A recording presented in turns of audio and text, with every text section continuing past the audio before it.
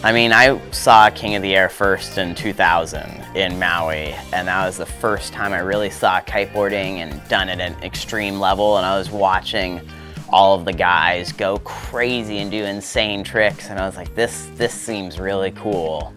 And then I started kiting a year later and competed in Maui, and always, you know, I was like 12 and 13 when I was competing there, so I was still, I made it into the event and I was excited about it, but still pretty far down the ranks. And um, then when it came back here in Cape Town, I just knew, I was like, this is the reason I got into kiteboarding. This is what I want to do with my life. And I want to be the Red Bull King of the Air. Your 2020 Red Bull King of the Air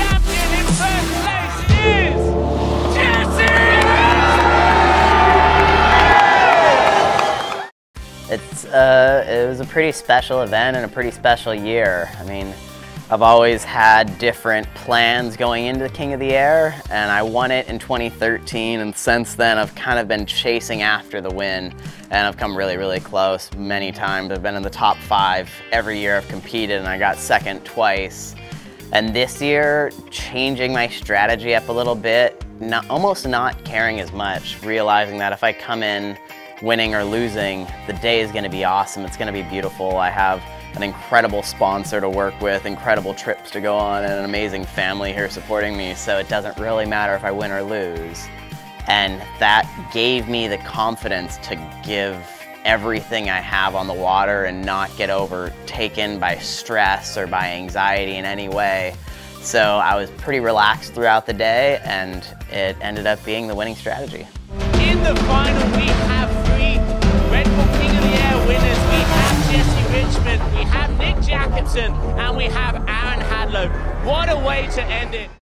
Well, seeing the Orbits debut in the King of the Air last year was, everyone was pretty excited and pretty curious what was going to happen. And with Nick and me making it to the semifinals and then, you know, getting the, having the Orbit put me on the podium last year, I feel like was, was pretty exciting and a little bit of a shock for everyone.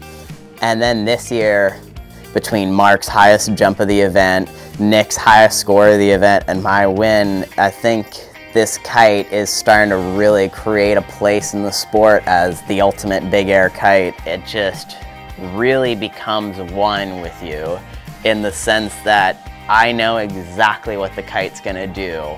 It's extremely predictable even when the wind is totally crazy and having that connection to my kite is an absolute must, especially when I need to trust so much in it because we put ourselves in positions where if something goes wrong, there are pretty intense consequences. So you need to really rely on your kite and that's only formed through you know many hours of, of having that kite catch you and having that trust build. And I've gotten to the point now with the Orbit that it's, it's the kite I want, it's a kite I need in these situations to be able to really give it 100%. There goes Jesse. It's the first handle pass of the final. I rode the, the Focus in this event, and I've been riding the Focus throughout the year because I really like the little bit of extra rocker that board has.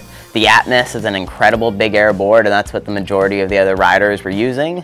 But I go with the Focus because it has that little bit extra rocker and really helps, um, especially when I'm coming down hard, which is something that I tend to do.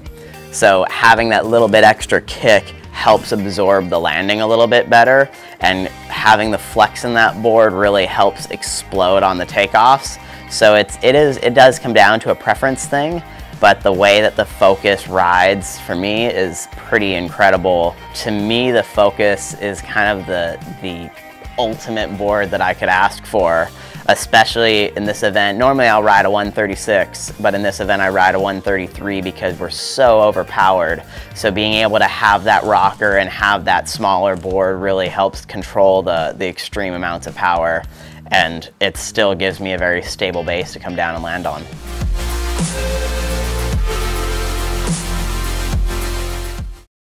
During King of the Air, we need an incredible amount of hold on our boards and having that super close, tight, and perfect connection between us and the board is essential.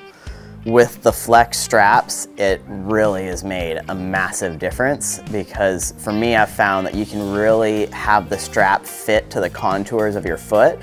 So you can fine tune and adjust the strap to be fit perfectly. And especially when you're doing maneuvers like kite loop board offs, where you need to be able to take the board off and then put it back on and have it be locked on there to land having a strap that fits perfectly to your foot almost feels like you ha it has a spot. So as soon as I get my foot in and I get it to that certain place in the strap, I know it's locked on. And then another aspect that's really been cool is how it, it has a slim profile, but what they've done is they've inserted a triple density foam. So there's three different levels of foam with the bottom being the hardest. So even when you're coming down super hot on some of these kite loops, you still never end up bottoming out the strap and kind of injuring your heel, which has been a thing of the past.